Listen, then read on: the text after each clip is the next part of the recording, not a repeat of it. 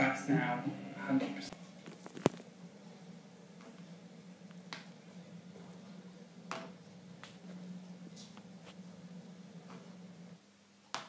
is true. It's been passed by the RAF. They're um, cross-eyed in them. The procedure she had was called refractive lens exchange. Optical Express replaced the natural lens in her eye with a synthetic one. It's resulted in her being the one person in a thousand they warned who could have complications after surgery. So what happened after your operation? I had lots of halos, but I thought, well, this is early post-op. It's it's going to settle down. When did you discover there was a serious problem with your eyesight?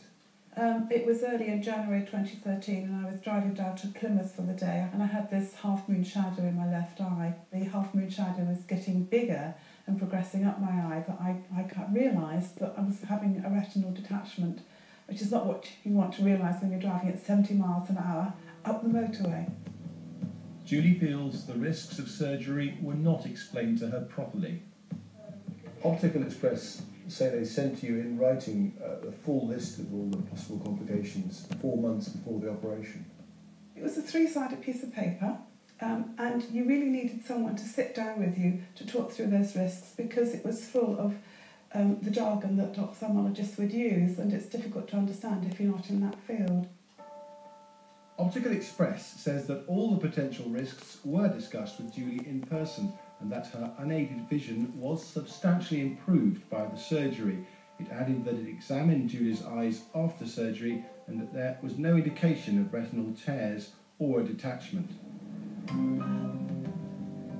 In May, campaigners from a group called Optical Express Ruined My Life demonstrated outside the Cabot Circus branch in Bristol. The group has a website. Its 200 registered members discuss a range of concerns about Optical Express and other providers of laser eye surgery. We met a couple more disgruntled patients on the day. Suzanne Cobley had refractive lens exchange like Julie. They didn't say anything would go wrong. They said there may be a small, um, a small number of people might need a little bit of um, fine tuning. Um, that um, you know there wasn't very much that could go wrong. That I would be rid of all specs. Kath had laser eye surgery. Since I've been having problems with my eyes, I now have dry eyes for life, um, which I don't feel was mentioned to me enough. Um, I think in my consultation they said to me the worst thing that can happen is your prescription just goes back to normal, but it was really blasé. Um, and I now have ghosts in my eyes, and I've noticed in the last few months they've got really, really bad. Optical Express says Kath undertook a full and detailed informed consent process where the potential risks of the proposed procedure were discussed. It also says that Suzanne's medical notes show staff advised her she may need near vision spectacles for sewing and that this was repeated in the informed consent documents she signed and also in a video she viewed in store. So, how are the risks of eye surgery explained to customers at this branch? We decided to go undercover to see for ourselves how a laser eye consultation takes place here. We were taken to meet John Margetts. He is an optometrist here. Thank you very much. Right, so you, you want to know what's what, basically? Yeah, I guess so. Uh, tell me what you know. Uh, not a huge amount. I was chatting to a colleague who said there were sort of three or four different options, um, and sort of, uh, forgive me, I can't remember the names now. I'll say backwards, right? Yeah, It's been passed by the RAF, Army, Navy, yeah. and it's now mandatory for the replacement of Harrier the F-35 anyway, hmm also for the Apache, country pilots and gunners. Yeah, So does it work? Oh yeah. yeah. No, no. Does it last? The RAF have passed it because it lasts. hmm Yeah. Also, uh, it's 25 times more accurate than your glasses. Okay, that's pretty good. Yeah. You also get an improvement in your mid-peripheral sight, hmm which has been amazing for the RAF's fighter pilots. Okay. Okay? So do they do it standard, do they? You have to have it. Yeah, it repeats it three or four times, doesn't it? So it's very deliberate. It's not a slip of the tongue once. Rob Johnston is an eye expert at Cheltenham General Hospital. We brought him in to look at our footage.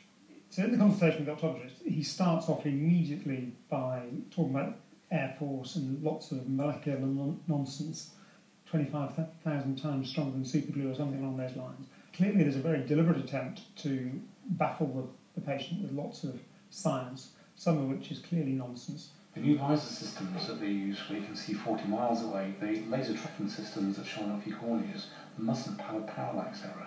Right. So you have to be lasered to match the laser. Yeah. So it's now called a biometric enhancement. It's wrong to give deliberately false information, and some of the information is deliberately false. During the hour-long consultation, John Margetts didn't explain the risks once. We were, however, shown a four-minute video, 42 seconds of which was devoted to explaining some of the risks. After it had finished, the assistant left us with a parting thought. I mean, that, and that's the thing.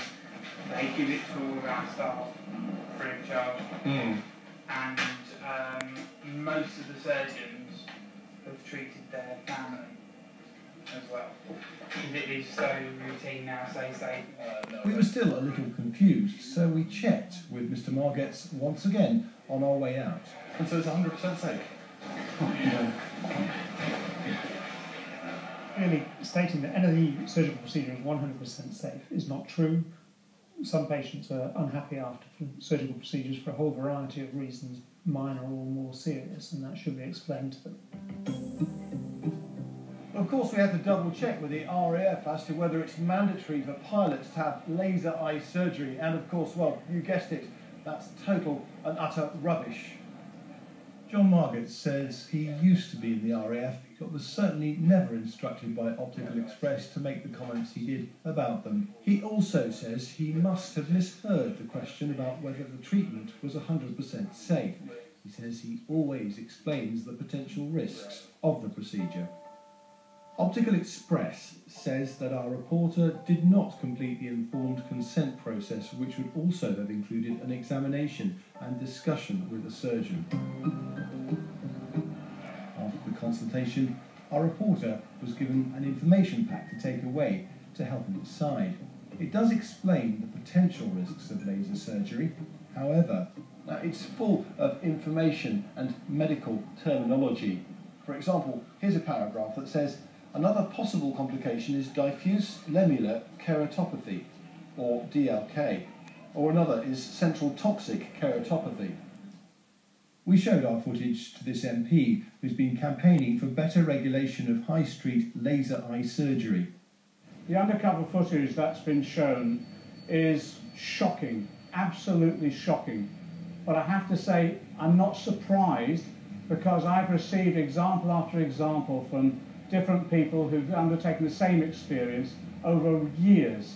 And we presented that before the government, urging them to act. So shocked, but not surprised, unfortunately. Optical Express says it strongly supports further regulation that could meaningfully improve patient care. Next month, Julie will join other campaigners to lobby MPs in Parliament. I wish I had never met anyone from Optical Express. I wish I had never gone through their doors. The need for regulatory reform of this multi-million pound industry is gathering pace.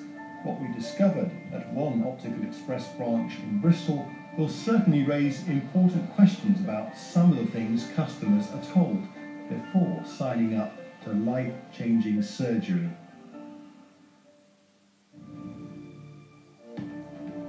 To get the latest on what's happening on Inside Out